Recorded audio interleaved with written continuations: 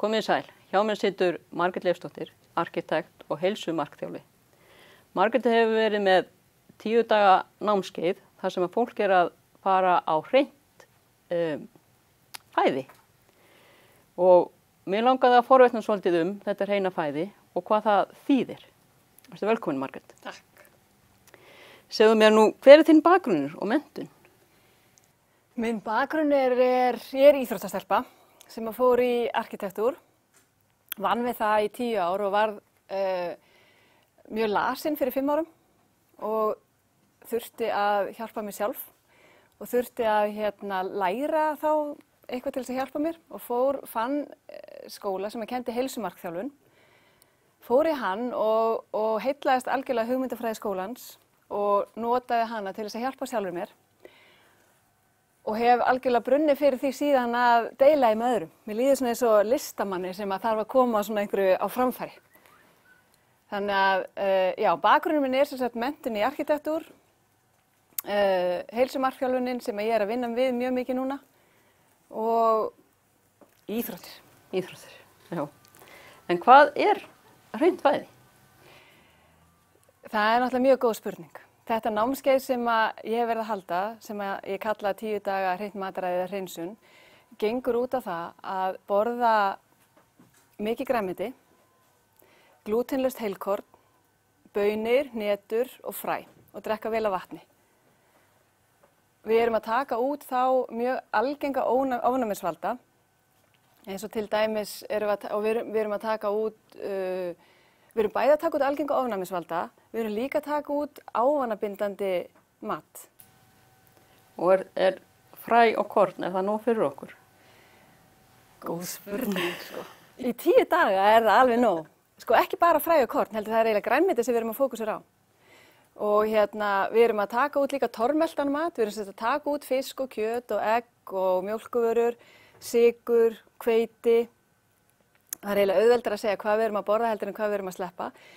En, en í þessa tíu daga er það fullkóla nóg. Þetta er ekkert eitthvað svona þannig ekstrím sem við erum að fá öll vítamin og steinöfnum sem við þurfum nema kannski B12.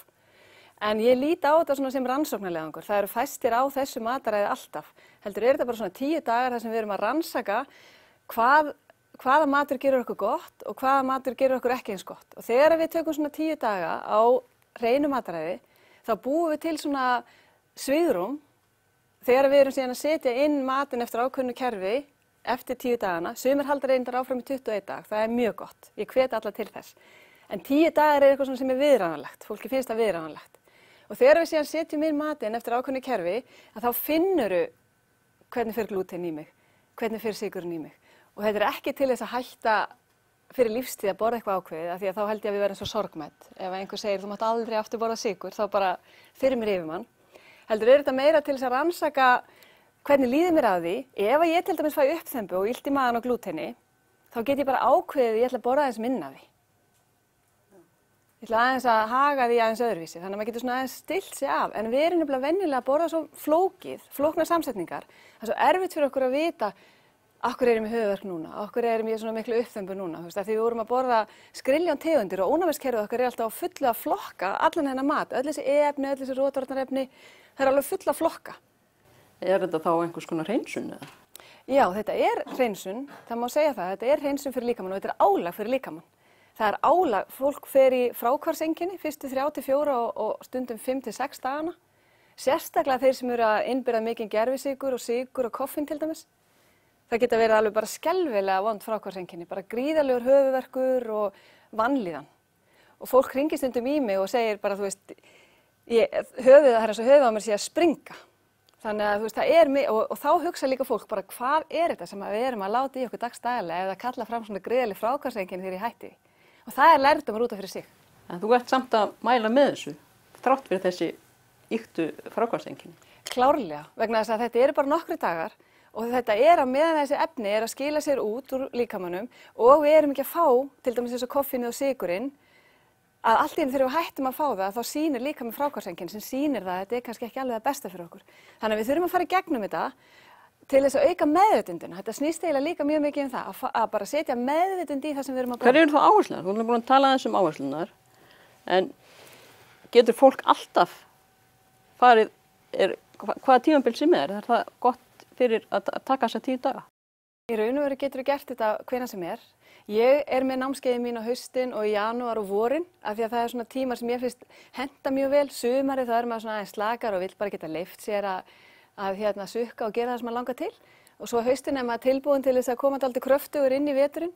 Þannig að haustin eru góðu tími til þess að taka aðeins til. Janúar eftir jólin er líka rosa góðu tími til þess að ná sér aðeins upp orkulega og vorin líka þegar maður er að fara inn í sumarið. Þannig að maður getur gert þetta hvenna sem er og þeir sem eru búin að koma á námskeið til minn geta bara gert þetta sjálfur þegar þeir vilja. En það er svo magna þegar maður gerir svona saman í hóp. Það er einhver galdur sem að gerist við það. Það er bara miklu auðveldara, Hópefli. rosalegt hópefli og myndast svakalig stemning og bara þú veist, mér skal takast þetta. Og það segja svona allir sem að koma, þú veist, þetta var miklu auðveldara heldur en ég held þetta er. Já, ég get nálega sagt það því ég var á þessu námskeið hjá þeir í tíu daga og þetta kemur, maður kemur sjálfum sér óvart Já. á, á þessum tíu dögum. Já.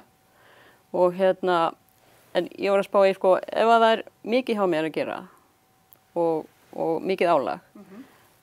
mælur þá með að fara í svona hreinsun meðan þessu álagi stendur. Nei, nei, Er það, er það ekki svolítið mikið sko að vera í álagi vinnu eða heima eða eitthvað mikið að gerast Jú. og líka taka þessa tíu dagar hreinsun? Jú, ég mæli, ef að maður er nýbúin að vera til dæmis veikur eða maður er undir miklu álagi, auka álagi, að þá maður ekki að taka þetta námskeið. Og það er svona tannig með okkur hérna á Íslandi, við erum alltaf undir gríðarlegu álagi, það er alveg saman hvort við sem við tala um kallar eða konur. Það er alveg magna, þannig að bara, en maður þarf samt að finna tíma það sem er ekki auka álag á manni. Og maður þarf líka að fá skilning í fjölskyldunni og maður þarf líka að gera eitt, maður þarf að byggja um hjálp. Ég held að við séum oft ekkert rosalega góði að byggja um hjálp, af því við ætlum bara að græja þetta sjálf. En ég segi við alla sem er á námskeiðinu hjá mér, í þess að tíu daga, þetta er það mikið verkefni að þið bara þurfið alla þá hjálp sem þið getið. Byggiði ömmur og afa og maka og frængur og frændur að hjálpa ykkur. Já. En hver, hver er svo ávinningurinn að þessu öllu saman? Ávinningurinn er náttúrulega bara magnaður. Ég get sagt þér að þegar ég er að lesa matsblöðin, ég byrði alltaf þáttangundur um að skrifa hvað, okkur komst á hreinsunna, hvað gerðum fyrir því og svona.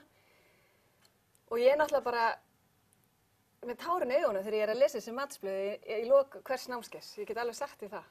Það er bara, þú veist, hérna, brjóstsviðin fór, ég er ekki lengur með verki í liðum eða miklu minni verkir í liðum, vakna á mótnana, betri svefn, falleri húð, líður betur andlega, á auðveldara með að takast á við, við hérna, álag og, og hérna, árekstra, líður svona, eru betri tengslega sjálfum og er róleri, ég get alveg haldið af með endast að telja við, en mestu kannski, það sem mér veist kannski mest, það er svona kannski tvent sem er mest virði, það eru uppgöðutöðnirnar sem að þú gerir eh, á því hvaða matur er að gera mig gott og hvað ekki. Og svo hitt er andlegi þátturinn sem við tökum líka svolítið í gegna námskeiðinu. Það er svona tenging okkar við mat andlega.